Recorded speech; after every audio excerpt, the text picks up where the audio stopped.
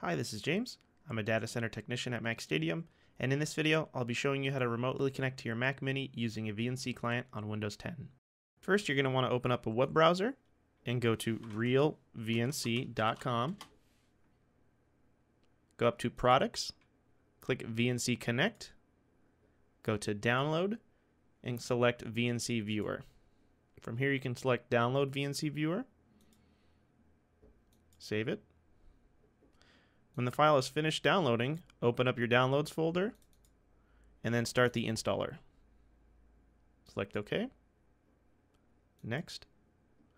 Accept the terms. Next. Select Next.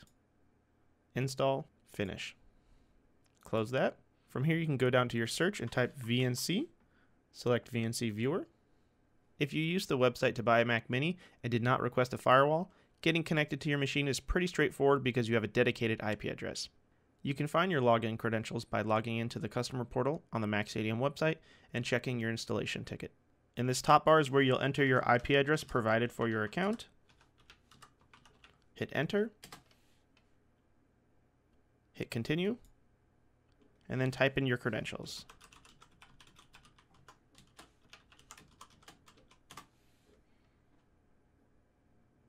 Go ahead and type in your password one more time here. Once you're logged into your machine, you have full admin access to use it like a normal machine. If you have any questions or comments, please leave them below. Thanks for watching.